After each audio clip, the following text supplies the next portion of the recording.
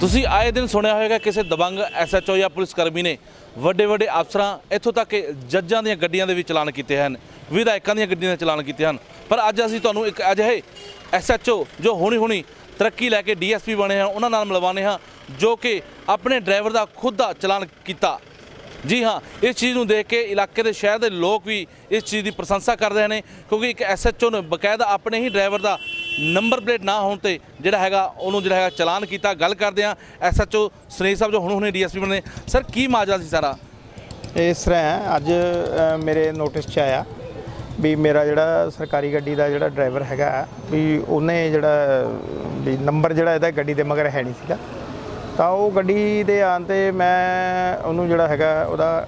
ਮੌਕੇ ਤੇ, ਕਿਉਂਕਿ ਦੂਜੇ ਲੋਕਾਂ ਦਾ ਜਦੋਂ ਆਪਾਂ ਵਿਦਆਊਟ ਨੰਬਰ ਜਾਂ ਉਹ ਚਲਾਨ ਕਰੀਦਾ, ਤਾਂ ਮੈਂ ਉਹਦਾ ਜਿਹੜਾ ਇਮੀਡੀਏਟਲੀ ਉੱਥੇ ਚਲਾਨ ਕੀਤਾ ਤੇ ਚਲਾਨ ਕਰਨ ਤੋਂ ਬਾਅਦ ਜਿਹੜਾ ਹੈਗਾ ਉਹ ਉਹਨੂੰ ਜਿਹੜਾ ਹੈਗਾ ਅੱਗੇ ਵਾਸਤੇ ਵਾਰਨਿੰਗ ਵੀ ਦਿੱਤੀ ਹੈ ਇਸ ਗੱਲ ਦੀ ਵੀ ਇਸ ਗੱਲ ਦਾ ਖਾਸ ਧਿਆਨ ਰੱਖਿਆ ਜਾਵੇ ਤੇ ਇਮੀਡੀਏਟਲੀ ਜਿਹੜੇ ਹੈਗੇ ਆ ਉਹਦੇ ਨੰਬਰ ਪਲੇਟ ਤੇ ਹੋਰ ਜਿਹੜੀਆਂ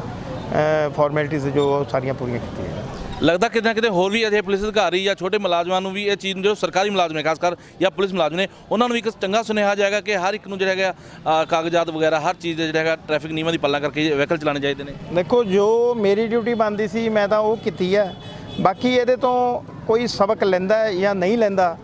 ਤਾਂ ਬਟ ਨੈਚੁਰਲ ਹੈ ਵੀ ਜੇ ਕਿਸੇ ਮੁਲਾਜ਼ਮ ਦਾ ਚਲਾਨ ਜਿਹੜਾ ਹੈਗਾ ਇਸ ਤਰ੍ਹਾਂ ਹੋਊਗਾ, ਤਾਂ ਇਹਦੇ ਨਾਲ ਦੂਸਰਿਆਂ ਨੂੰ ਪਤਾ ਲੱਗਦਾ ਹੈਗਾ ਜਾਂ ਉਹ ਵੀ ਇਹਦੇ ਬਾਰੇ ਅਵੇਅਰ ਹੋਣਗੇ। ਜੀ, ਤੁਸੀਂ ਦੇਖਿਆ, ਇਹ ਸਨ ਐਸਐਚਓ ਸੁਨੇਹੀ ਜੋ ਕਿ ਲੋਕਾਂ ਦੇ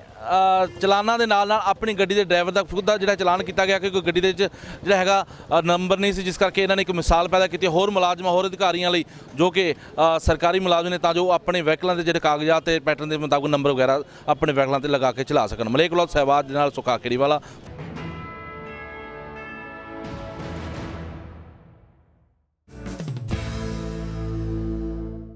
ਕੀ ਤੁਸੀਂ ਵੀ ਵਿਦੇਸ਼ ਵਿੱਚ ਆਪਣਾ ਭਵਿੱਖ ਬਣਾਉਣਾ ਚਾਹੁੰਦੇ ਹੋ, ਪਾਓ ਵਿਦੇਸ਼ ਵਿੱਚ ਪੜ੍ਹਾਈ ਕਰਨ ਦਾ ਮੌਕਾ। ਪਿਰਾਮਿਡ ਈ ਸਰਵਿਸ ਦੀ ਸਲਾਹ ਨਾਲ ਭਾਰਤ ਅਤੇ ਪੰਜਾਬ ਸਰਕਾਰ ਤੋਂ ਮਾਨਤਾ ਪ੍ਰਾਪਤ। ਪਰ ਕਰੋ 93978 93978